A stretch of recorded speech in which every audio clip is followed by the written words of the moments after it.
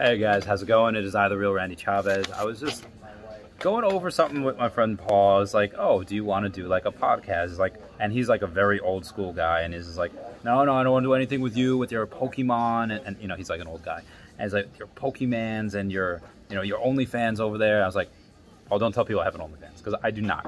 Uh, although someone, no, I don't.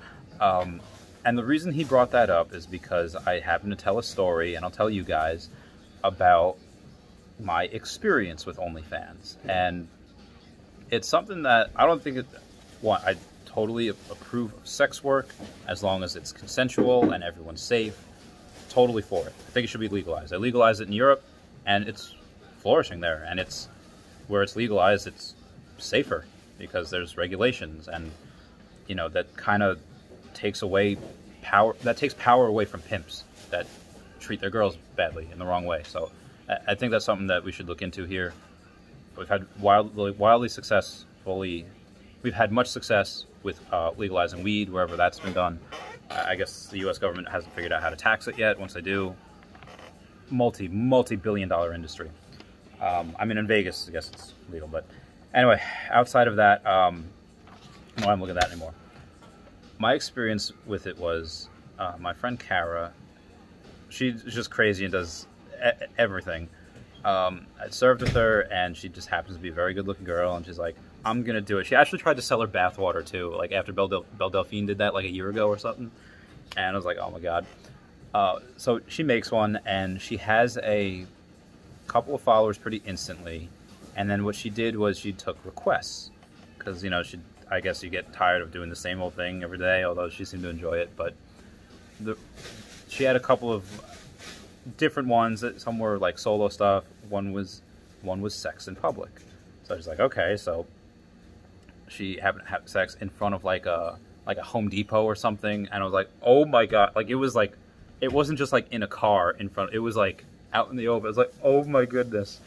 So that is uh, so she did that, and then she had a another one where or another request. It was like from the same guy who's like like if we were getting a car, I want you to be like fucked up against the window with like, see you later, Dan, with like your tits pushed up against the glass, and it's like these are getting weirder and weirder.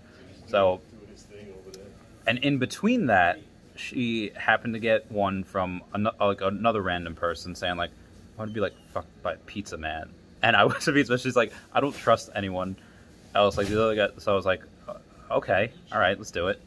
Um, so we did it, and you didn't see my face. Uh, you saw my tattoos in there, so if anyone's seen that, sorry.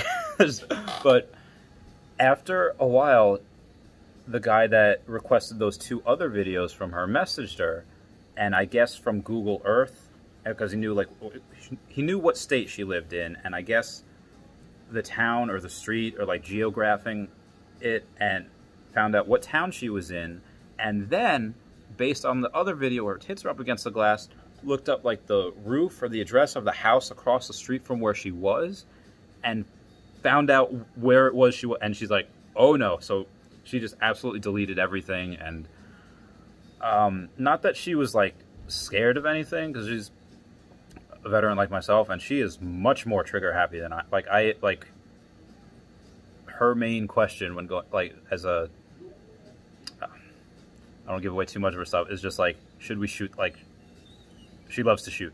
So it's not that she was scared. She was just weirded out. She's like, I do not want a stalker. I do not need a stalker.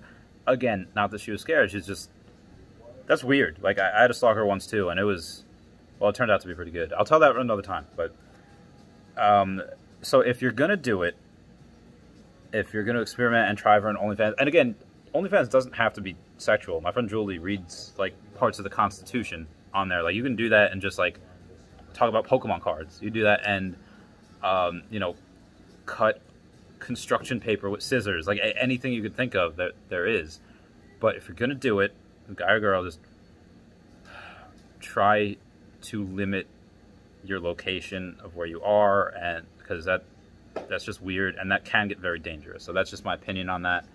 And that is the controversial subject of the day. I'm going to have to mark this as NSFW, so I'll catch you guys later. All right, please comment, like, and subscribe. Comments are good for the YouTube algorithm. I love you. Bye.